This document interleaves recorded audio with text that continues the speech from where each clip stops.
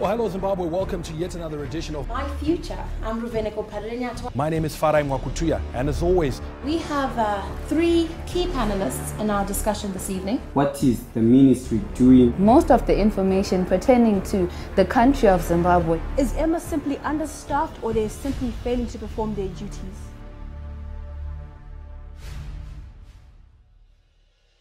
If you are a national of this country, a national youth service is part of you.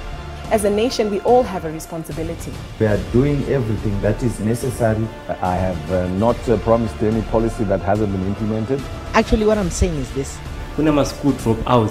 What is the policy? We now need to move our country. I don't know if that falls under you. look, we both have a role to, to parent a child.